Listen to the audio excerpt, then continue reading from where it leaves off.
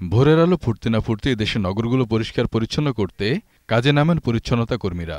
রাজধানীর পরিচ্ছন্নতা কর্মীরা সতেরোটি কলোনিতে বসবাস করলেও নেই পর্যাপ্ত সুযোগ সুবিধা। হরিজন সম্প্রদায়ের আবাসন ব্যবস্থা নিশ্চিত করতে রাজধানীর দয়াগঞ্জ, ধলপুর ও সূত্রাপুরে তেরোটি ভবনে এক ফ্ল্যাট নির্মাণ করেছে স্থানীয় সরকার মন্ত্রণালয়। এর মধ্যে চারটি ভবনে তিনশো পঁয়তাল্লিশটি ফ্ল্যাট, গণভবন থেকে ভিডিও কনফারেন্সের মাধ্যমে উদ্বোধন করেন প্রধানমন্ত্রী শেখ হাসিনা। পরিষ্কার পরিচ্ছন্নতার জন্য আধুনিক যন্ত্রপাতি ব্যবহারের তাগিদ দিয়ে সরকার প্রধান দেশের এই সম্প্রদায়ের মানুষের জন্য আবাসন ব্যবস্থা নিশ্চিত করার নির্দেশনা দেন। পরিষ্কার পরিচ্ছন্নতার ক্ষেত্রে আধুনিকায়ন হতে হবে। আমরা যে ঝাড়ু দিয়ে করি, ঝাড়ু আমাদের লাগবেটা ঠিকই।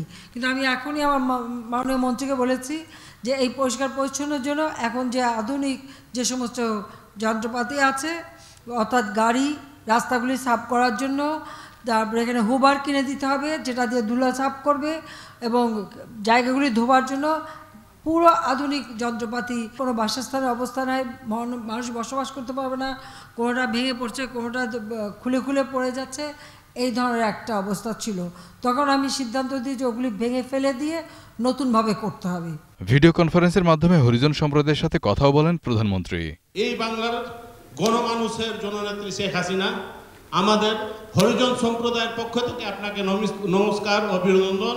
এর আগে গণভবন থেকে ভিডিও কনফারেন্সের মাধ্যমে বরিশালের শেরিবাংলা মেডিকেল কলেজের সুবর্ণ জয়ন্তী অনুষ্ঠান উদ্বোধন করেন প্রধানমন্ত্রী শেখ হাসিনা।